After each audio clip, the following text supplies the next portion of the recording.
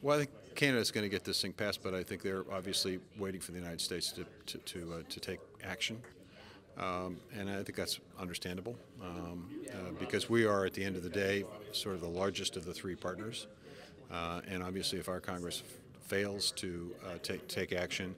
Uh, there's no reason for our Canadian politicians to put themselves in a position where they have to, to do they have to take a tough vote against their own dairy industry because this agreement does indeed restrict exports of Canadian dairy products. It does indeed remove Class 7, which has been a benefit to Canadian dairy, dairy industry.